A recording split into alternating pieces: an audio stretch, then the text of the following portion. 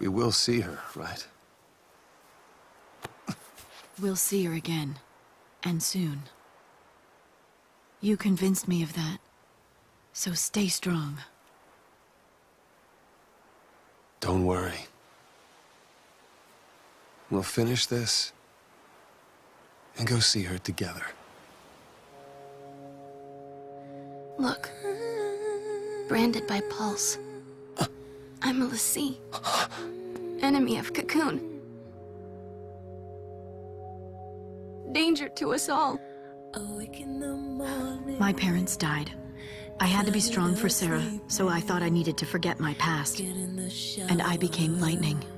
I thought that by changing my name, I could change who I was. Who are you? I've got a few screws loose, but I'm a l'Cie, same as you. You must be Snow. Cid Raines, Brigadier General of the fleet. Your son's a hero. We'll erect a memorial in Eden and put his crystal on display. If they find out you're sheltering l'Cie, they'll... You're my son. This is your home.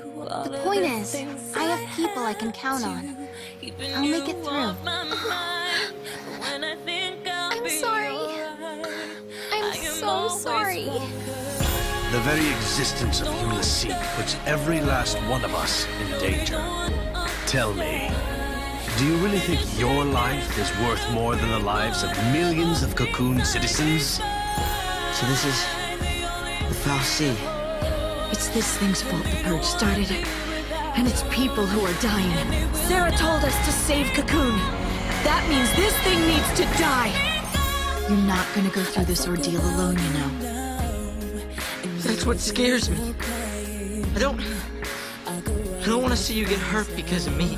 Let Cocoon get what's coming. Better that than watch a friend go Cie'th. What happens when your actions end up ruining someone's life? How do you pay for what you've done? Shoot me! Don't you even!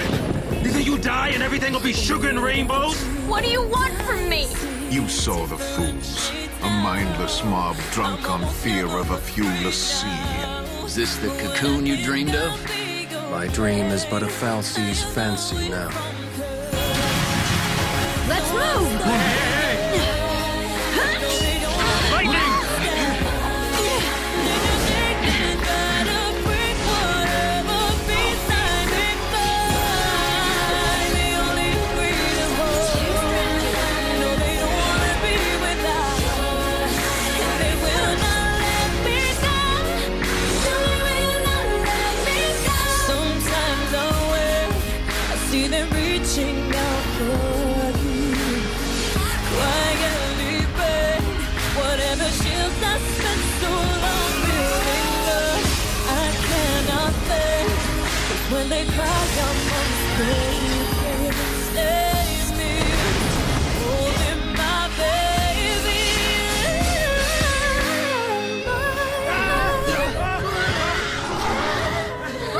Lady Luck now? Lady Bad Luck!